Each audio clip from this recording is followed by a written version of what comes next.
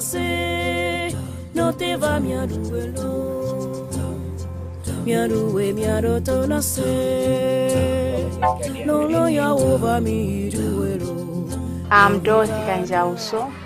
I'm a client of Opportunity International Bank of Malawi. Dorothy Kanjautso received an initial loan of $142 through an Opportunity Trust Group. With the funds, she made a series of improvements to her home nursery school. I'm doing these businesses. I've got a private school. I employed seven teachers. Successive loans allowed her to open a primary school. I remember to have, uh, to have met Dorothy a, a year when a year after I lost her husband. Maximus Biazau, Dorothy's first loan officer, always believed in his client. When I, I met her, the kind of uh, perception I had was like still struggling in life, still to make ends meet. So how are I going to live now? I asked my Lord that He should give me a business which cannot be give me tough time, but He should give me money. Then I come up with the idea of school. She named the school Kitava after her children. Natasha, Vanessa, and Kevin Ketava. I started with a very small figure. Now I'm having 250 children.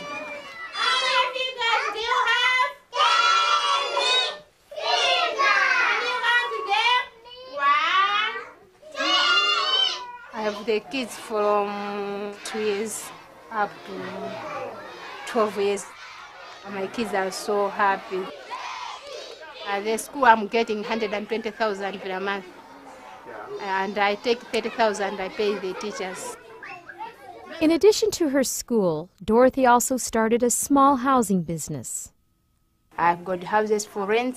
There are six that I'm getting 30,000 per month. She's involved in caring for the sick and the orphaned, helping those who are HIV positive, and educating youth about AIDS and nutrition. It's now nine years after Dorothy's husband passed away. She lives here taking care of eight children, five who are orphaned, and three of her own. Today, she tells them about HIV, but holds back a secret. I went for testing, and the results were positive that I'm positive living HIV.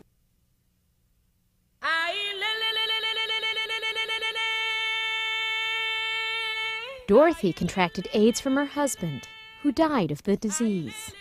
I didn't tell the children why their father was dead. I just say he was sick. But eh, after they get 18, 19 years, I will tell them. Rose, Tasha, what do you want I to buy you? I didn't tell everybody.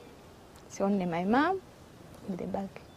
Dorothy Kanjautso had to come to me and said, look here, transformation office, I'm HIV positive. So we are trying as one people to help one another.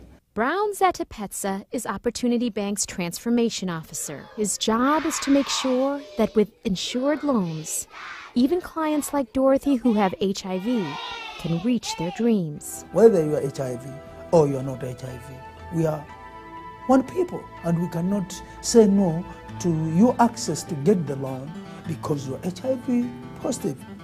The most thing I can, I would like for the people to, to help me is to have a minibus for school and uh, I should have uh, equipment for school like a computer, printer, photocopier to keep information easy. Yeah, since the school is growing now.